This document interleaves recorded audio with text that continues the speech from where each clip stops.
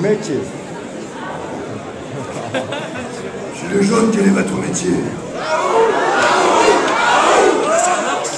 La motivation est toujours là, messieurs dames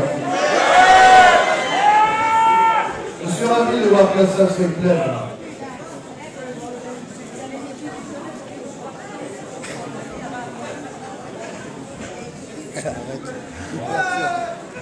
Ah merci, voici le DJ euh, des Gilets jaunes qui est là-bas. On va attendre que tout le monde s'installe, que tout le monde soit prêt. Et nous pourrions commencer. Bon, les Gilets jaunes, on lâchera rien? Oui ou non? Voilà, là c'est plus clair. Bon. Je vais essayer d'occuper la salle un petit peu en attendant. Attendez, est-ce qu'en haut ça va?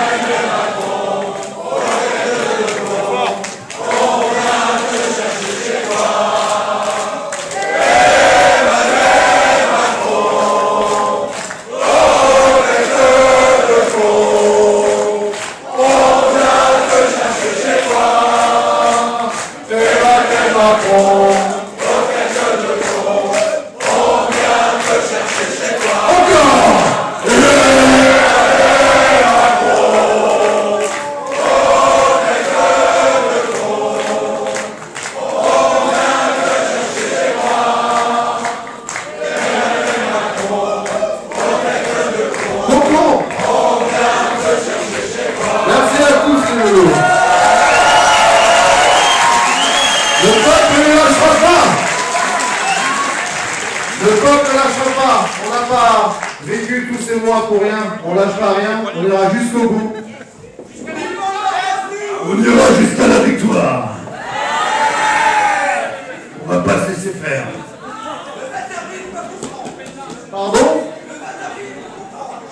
Le 20 avril Ya, le 20 avril, ils vont comprendre. Excuse-moi, je n'entends pas trop. Tu as une petite voix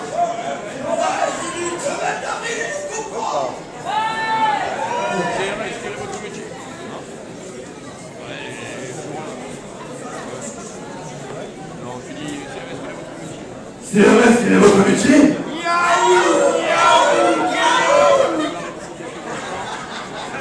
C'est quoi votre chanson euh, Une nouvelle euh, euh, non. euh, Une nouvelle guerre. C'est bien. Je crois qu'il la connaît,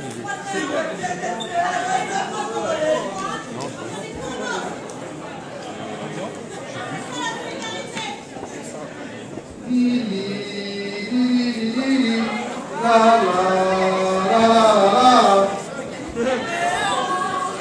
C'est quoi le jeu déjà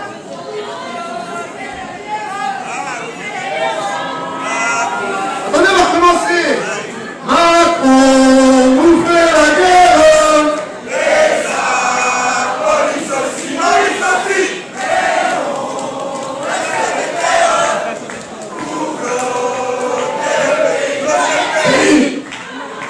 Bon, est-ce que tout le monde est prêt Installez-vous, François Ballot, Jean Rodriguez, Juan Branco, Soria, Lulili, Frédéric, et voilà. Et Jérôme Et, Rodriguez. euh, j'ai déjà dit en premier. Ah, tu l'as dit en Jérôme premier. Rodriguez. Magali. Voilà, vous pouvez vous applaudir vous-même tous d'être venus ici. Vu vu que la salle est bien, bien remplie, on montre que le mouvement ne se souffle pas. Non, loin de là. Ah oui, non. Et on peut vous dire aussi ceux qui sont là parmi nous.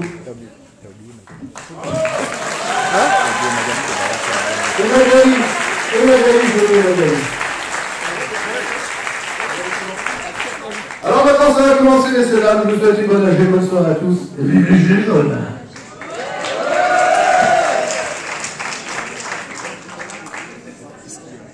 Je la vois pas. Merci à tous. Donc, on, on va commencer parce que si vous voulez vous asseoir sur le côté, enfin, installez-vous. On, commence dans 10 secondes. La première personne qui va prendre la parole, c'est qui, arrive euh, de Saint-Nazaire avec des qui des des par rapport à gilets jaunes, on va- on va-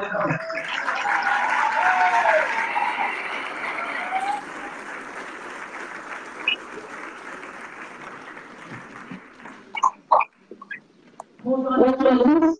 Merci d'être venus d'avoir fait l'emplacement pour, euh, pour, euh, pour ce débat euh, euh, Gilets jaunes de l'Union européenne. Donc, euh, voilà, moi je suis Victoria, je suis euh, et j'ai donc sur un risque de passer le week-end, enfin, ce week-end à Saint-Nazaire, à l'Assemblée des Assemblées. C'est le journée du 5 au 7 avril. À la maison du peuple, on a été très chaleureusement accueillis. Allez, les amis, je vous invite à rejoindre. Partagez un max le live de Jamel. Assemblée générale. Euh, débat. Débat sur l'Europe, groupe du travail à Paris. Le 9 avril 2019. Euh, dont euh, l'Assemblée des assemblées qui, Donc va partagez être, un max, on est là.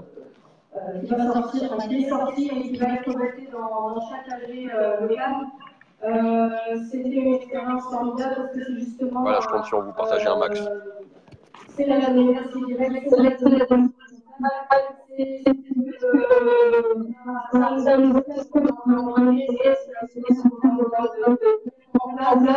C'est euh, c'est. Et, euh, et on euh, euh.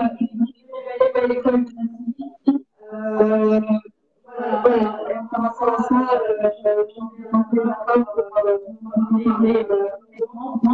Euh, euh,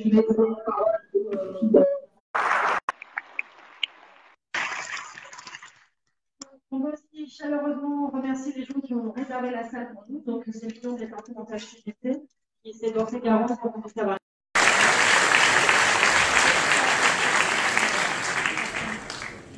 Et donc, je vous précise qu'on va donner la parole à chacun des intervenants.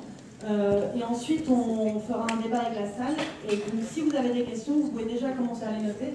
On passera et on récupérera des questions écrites sur papier pour, euh, les, les, les choisir suivant le nombre de questions. Enfin, les choisir, les, les, les tirer au sort et permettre aux, aux intervenants de répondre aux questions. La première personne qui va prendre la parole est Ludivine Mantini. Elle est historienne et enseignante à l'Université de Rouen.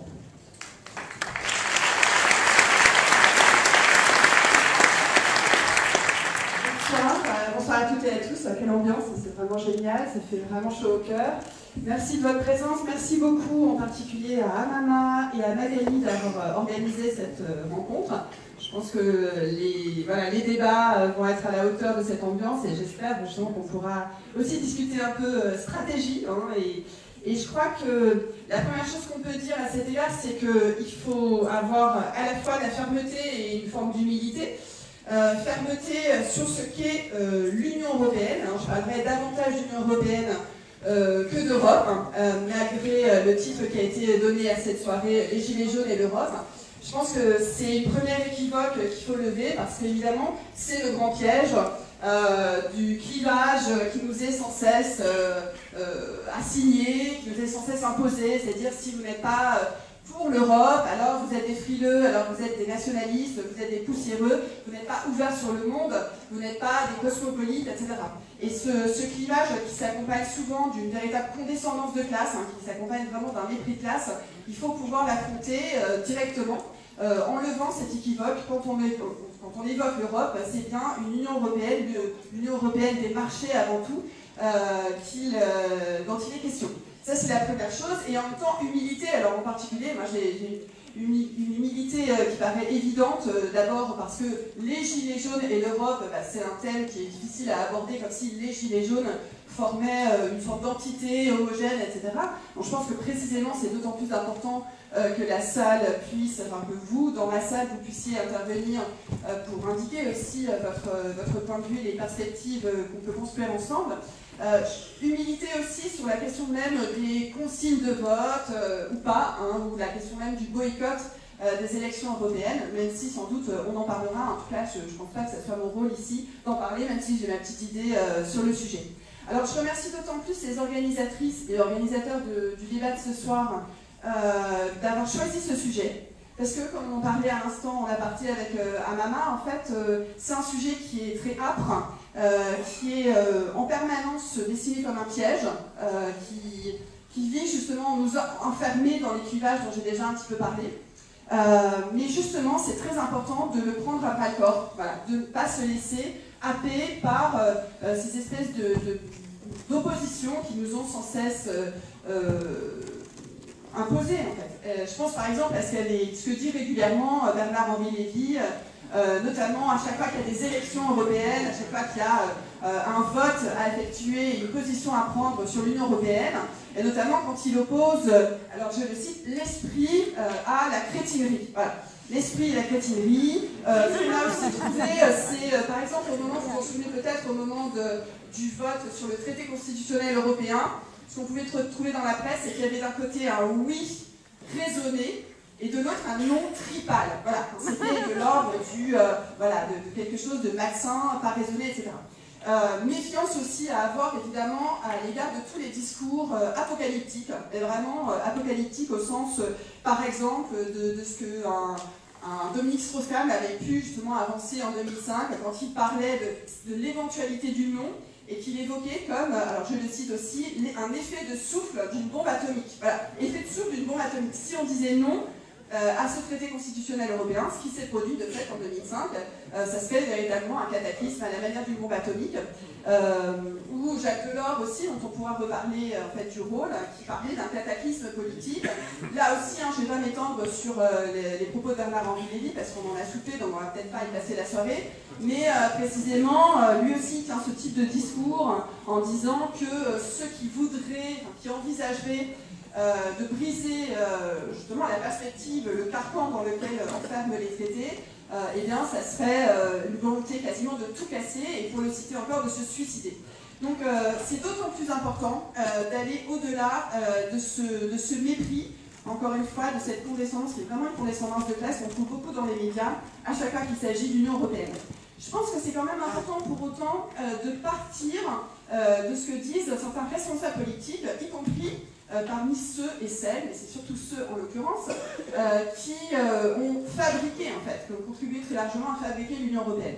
je ne sais pas si vous avez entendu cette interview de Valérie Giscard d'Estaing avec le tout aussi fameux Nico Aliagas sur Europe 1, il y a quelques jours. Et vraiment, Giscard d'Estaing, malgré son grand âge, il ne fait pas preuve de sénilité. Hein. Je peux vous dire qu'il est très clair dans son cynisme antidémocratique. Qu'est-ce qu'il a dit? Parce que donc, Aliaga, je disais, eh ben, c'est inquiétant, les élections européennes, qu'est-ce qui va se passer? Il y aura peut-être euh, une abstention très forte, etc. Et Giscard d'Estaing a dit, mais très tranquillement, hein, vraiment très tranquillement, il a dit, en fait, euh, les élections européennes, c'est pas très important. Hein. Pourquoi Parce que le Parlement européen, je pas très important. Hein. Et d'ailleurs, je le sais parce que c'est moi qui l'ai créé. il a dit tellement ça. Pourquoi Il dit, mais le Parlement européen, c'est très important puisque de toute façon, l'unique rôle qu'il a, c'est de vérifier la compatibilité des textes proposés par la Commission euh, avec les traités. Voilà, c'est tout. Donc en fait, c'était une manière d'avouer très tranquillement, là aussi, hein, très, très cyniquement, euh, y a un enjeu démocratique extrêmement puissant qui nous intéresse en tant que mouvement des Gilets jaunes, euh, qui euh, là est à déminer. Parce que clairement, l'aveu qui est effectué là, c'est que ces instances européennes n'ont rien de démocratique. Et c'est vrai que c'est du jamais vu quand même dans la période politique contemporaine que des instances non élues aient des pouvoirs aussi exorbitants. Donc je pense que c'est très intéressant qu'on mène ce débat ensemble, qui est une politisation de la question européenne, Parce que très longtemps, l'Europe s'est apparue quasiment comme relevant du domaine des affaires étrangères, et comme chacun sait, le domaine des affaires étrangères, ça échappe complètement au champ démocratique, hein, ça échappe complètement à la discussion politique. Mais en fait, euh, euh, aujourd'hui, c'est important justement qu'il y ait une politisation de ces enjeux euh, européens, tout simplement parce que l'Union européenne, c'est pas une entité abstraite, voilà, que tous se mettrait à Bruxelles, et on sait très bien que c'est pas à Bruxelles qu'on va changer la vie, pour reprendre l'expression de Rimbaud. Et pourtant, c'est ce qu'on veut quand même avec ce, mouvement. Euh, en fait, l'Union européenne et ses décisions nous concernent directement, concernent nos vies quotidiennes, nos vies ordinaires, et c'est en ça qu'il faut s'emparer euh, du sujet et ne pas le laisser euh, à ceux qui entendent décider à notre place et qui entendent aussi utiliser les armes de ce qu'ils appellent la gouvernance. C'est un mot qui nous vient justement de, ces, institutions, de ces instances non élues. La gouvernance, qui est un mot qui s'est imposé peu à peu, mais qui est à l'opposé de la démocratie, parce que la gouvernance, à l'origine, c'est un terme qui régit la sphère économique. Alors, moi, c'est vrai que j'interviens, et rapidement, bien sûr, euh, plutôt comme historienne de, tout ça, hein, de cette période-là. Euh, donc, très schématiquement, ce qu'on peut se rappeler euh, sur la manière dont des, responsables politiques de haut rang se sont emparés de, la question européenne, on peut se rappeler de ce que disait François Mitterrand en 83. Il a eu une phrase importante, me semble-t-il, parce qu'elle est pleine d'enjeux politiques et démocratiques décisifs il disait Je suis partagé entre deux ambitions, euh, celle de la construction de l'Europe et celle de la justice sociale. donc, construction de l'Europe versus C'était clair à ses yeux. Et euh, en fait, on sait, euh, il a tranché. à l'époque, dans les années 80, son gouvernement était divisé. Il y avait certains ministres du gouvernement Mitterrand, Mitterrand-Mauroy, puis Mitterrand-Fabius, qui disaient clairement qu'il fallait sortir du SME, hein, du système monétaire européen, qui disait qu'il fallait rompre avec euh, le marché commun. Et c'est pas anodin euh, que l'Union européenne, à l'origine, s'appelle marché, marché commun. Euh, et finalement, c'est pas la position qu'a adoptée Mitterrand. La position qu'il a adoptée, c'est, comme on sait, celle de Jacques Delors, hein, qui a été son ministre de l'économie et qui a été aussi pendant dix ans président de la Commission. Et Delors a écrit notamment un livre en 85 qui était très clair là aussi dans son cynisme politique, puisqu'il disait le, Parti socialiste va, accomplir une cruelle et stupéfiante révolution. Alors déjà, c'était une manière très biaisée, évidemment, d'employer le mot révolution. Et qu'est-ce que c'était à ses yeux? C'était le fait d'imposer, notamment grâce euh, au marché commun, comme on l'appelait encore, euh, d'imposer ce qu'il appelait euh, des réalités, là je le cite, hein, des réalités aussi immuables et éternelles que les étoiles dans la nuit, ça peut paraître romantique comme ça, mais de quoi il voulait parler Les étoiles dans la nuit, hein. c'était le marché, la compétition, la concurrence exacerbée. Euh, et c'est évidemment ce qui l'a emporté. D'ailleurs, euh, l'essayiste Jean Lacouture a eu une formule là aussi assez tranchante, tranchée à ce sujet. Il a, il a dit, à partir du moment où le choix tel que Mitterrand l'avait euh, posé, c'est-à-dire justice sociale versus construction européenne, à partir du moment où Mitterrand a fait son choix, la couture a dit, là aussi je vais citer plus précisément, c'est une victoire sans réserve de l'Europe sur le socialisme. Donc les choses étaient euh, assez claires d'un point de vue politique. Euh, les années 80 ont été marquées par, je ne vais pas vous faire toute l'histoire des actes et des traités, bien sûr, mais Fontainebleau, 84, c'est euh, ce qu'ils ont appelé le marché communautaire des capitaux, clairement. Donc il s'agissait de, bah, de, de, faire face à une crise aussi qui était une crise de, la baisse des taux de profit, hein, tout simplement. Hein. Il y a évidemment des conditions euh, matérielles, structurelles, économiques sous-jacentes euh, à ces, politiques. Euh, donc pour faire face à cette, question cruciale des profits et la chute du taux de profit dans les années 70-80, bah, c'était déréguler, privatiser, accomplir en fait une libéralisation de tous les secteurs de l'économie, hein, c'est réalisé en, par étapes avec l'acte unique en 1986, euh, faire de la concurrence notamment euh, l'alpha et l'oméga euh, de tous les secteurs, donc peu à peu comment tous ces secteurs ont été grignotés par l'emprise du marché. donc on l'a retrouvé dans ce qui s'est peu à peu appelé, par exemple, l'économie de la connaissance, par exemple, les services publics qui, qui ont disparu comme tels, hein, la formulation même ont disparu au profit de, services d'intérêt général qui doivent eux aussi euh, être soumis à la concurrence euh, libre et non faussée, hein, pour reprendre la formule euh, notamment employée dans le traité de Maastricht. Euh, traité de Maastricht, je ne la pas puisque vous connaissez tout ça, hein, c'est euh, là aussi une manière euh, d'avoir un nouvel impératif catégorique euh, qui n'a rien de philosophique, hein, qui est purement euh, économique, avec euh, cette question des 3% euh, euh, du, PIB. hein. Et ça supposait aussi, et ça c'est vraiment tout à fait crucial pour le mouvement euh, actuellement, euh, c'est notamment la, la financiarisation euh, des dettes, des dettes publiques. Ça veut dire que dans le marbre des traités est gravé l'impératif, l'interdit pour les États d'emprunter à leur banque centrale. Il leur faut, pour financer leur dette publique, euh, se- avoir recours au marché. Donc ça, c'est aussi euh, quelque chose, une spirale véritablement infernale, et on sait à quel point tout le discours sur la dette sert euh, à, justifier euh, des politiques drastiques de mise en cause bah, des services publics, de compression salariale, de, voilà, de, de- tout ce qui concerne justement le fait qu'il n'y avait plus désormais pour variable d'ajustement que la baisse des salaires, directe ou indirecte, c'est-à-dire la sécurité sociale, les retraites, etc. Alors pour terminer, bah, je pense qu'il y a, je dirais trois choses hein, pour conclure. La première, c'est que l'Union européenne, euh, elle nous a euh, engagés dans un temps politique particulier avec lequel, il me semble, le mouvement des Gilets jaunes est en train de rompre. C'est un temps euh, de la précipitation, de la fuite en avant, de l'urgence, et aussi le temps de l'irréversibilité. Voilà. Parce que c'est ça, en fait, la construction européenne, euh, elle avance comme si, de toute façon, c'était une fatalité. Il n'y a pas choix, donc c'est irréversible. Et c'est aussi contre ce contre quoi, euh, cette assignation voilà, à, la, fatalité, ce contre quoi il faut lutter. C'est pour ça qu'il faut aussi se réemparer du sujet. Euh, la deuxième chose, bah, je l'appuie chez un grand absent d'ici, dont je- j'imagine que vous regrettez justement son absence. Il ne pouvait pas venir ce soir, c'est Frédéric Lordon. Et donc, dans, son, dans le dernier numéro du Monde diplomatique, en celui de mars en tout cas, euh, il a un papier très intéressant euh, sur l'Union, à propos, enfin, sur le rapport entre l'Union européenne et le mouvement des Gilets jaunes. Il dit qu'en fait, à juste titre, me semble-t-il, toutes les aspirations euh, du mouvement, ces, aspirations à des alternatives politiques radicales au sens de la racine du système, bah, elles vont se heurter toujours hein, au mur des traités. Et donc c'est ça qu'il faut aussi prendre en charge. Il a une formule assez drôle où il dit que, notamment dans les organisations de gauche, l'euro est comme un objet transitionnel. Un objet transitionnel tel que Freud et la psychanalyse l'ont théorisé, c'est les doudous quoi. Un objet transitionnel, c'est une technique ou un doudou. Donc c'est vrai que l'euro, il a été fétichisé un peu comme si on n'avait pas le choix. Et donc euh, ce que dit Lordon, euh, là aussi ça me semble important, c'est comment sauver l'Europe d'elle-même. C'est-à-dire pouvoir dire qu'on est européen tout en rompant radicalement avec euh, cette perspective euh, des traités. Et pour terminer, le, dernier point, c'est que évidemment que Enfin, je l'ai résumé très très rapidement et bien d'autres vont y revenir beaucoup plus précisément que j'ai pu le faire, mais que, en fait, ce carcan, ce carcan des traités, ce, carcan de cette monnaie, avec ce, qu'elle impose, euh, me semble incompatible avec le projet des Gilets jaunes qui, s'appuie sur justice fiscale, justice sociale, euh, égalité et dignité et démocratie. Euh, mais ça n'empêche pas qu'il faille penser l'Europe à partir de ce projet, et je pense qu'on est là aussi vraiment pour en discuter.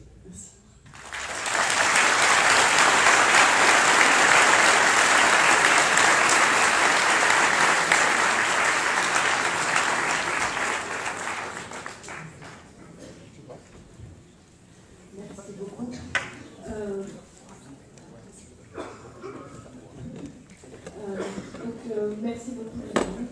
La, la deuxième intervention, euh, pour continuer euh, sur la présentation du- des, des enjeux euh, ce sera Frédéric Pierru, qui est euh, sociologue. Merci, sociologue de la santé. Merci beaucoup.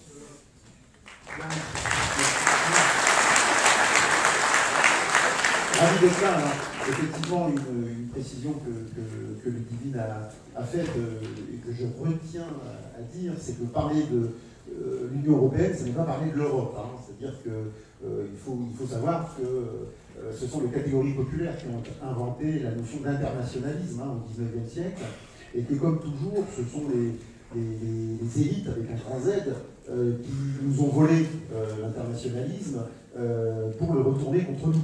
Hein, D'accord? Donc il faut, faut toujours être au clair avec ça. Être critiquer l'Union européenne, ce n'est pas critiquer l'Europe. Hein, évidemment, on est tous pour l'Europe, mais pour une autre Europe. Donc ça, c'est précisé. Alors, je regardais, euh, et vous avez suivi ça avec grand intérêt certainement, euh, le- les résultats du grand débat. Euh, moi, j'ai regardé ça avec intérêt. voilà, donc, euh, donc vous avez suivi que ce qui posait ce qui posait problème, c'était les dépenses Donc vous avez compris que derrière, s'il faut baisser les impôts qu'il faut Bruxelles, eux-mêmes d'ailleurs prenant leurs ordres à Berlin. Euh, je, voulais, je voulais juste, j'ai pas assez de temps, mais je voulais vous faire part d'une grande découverte scientifique, une grande percée scientifique euh, récente.